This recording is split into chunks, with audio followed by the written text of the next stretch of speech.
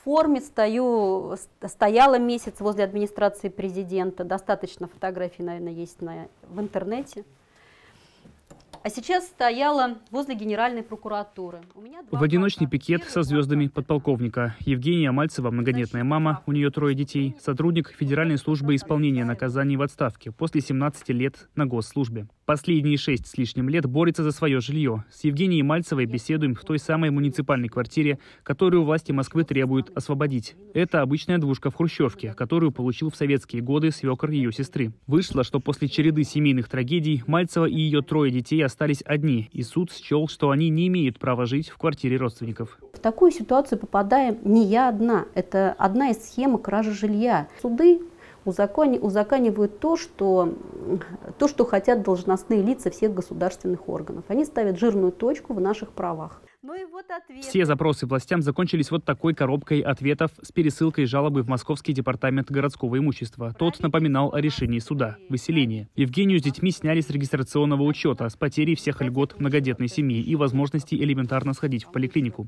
Весной против Евгении Мальцевой возбудили уголовное дело о самоуправстве мое заявление зарегистрировали, и, вот наш, и по моему же заявлению в отношении меня же возбудили уголовное дело. Она держала голодовку, выходила с пикетами к администрации президента и генпрокуратуре. В последние после личного приема пообещали разобраться. Как пенсионер в СИН Евгения Амальцева стояла в очереди на улучшение жилищных условий. Говорит, что по закону государство уже давно должно было обеспечить ее собственным жильем. Мне больше ничего не надо. Я хочу, чтобы мои дети не проходили вот этот жизненный путь длиной в 6 лет э, мытарств и вот этого безумия произвола, а жили в своей квартире, чтобы имели свою собственную крышу над головой. И не в 40 квадратных метров 5 человек, а в 90 квадратных метров, как положено по закону. Официально, по словам Мальцевой, в очереди на жилье 64 тысячи сотрудников службы исполнения наказаний по всей России. Они объединились в общественную группу «Бездомный ПСИН». По их подсчетам, на улучшение условий всех нуждающихся текущими темпами уйдет больше 90 лет. Они пытаются обратить внимание на свои проблемы, создали группы в социальных сетях, выходят на акции,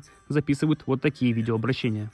Мы заслужили за 20-30 лет службы одно, одну государственную награду на всех – это статус бомжа России. Сотрудники и пенсионеры ФСИН России требуем пересмотра незаконных решений судов карманными судами города Москвы, которые лишают нас этого права. Иван Воронин, Юрий Лебедев, Радио Свобода, Москва.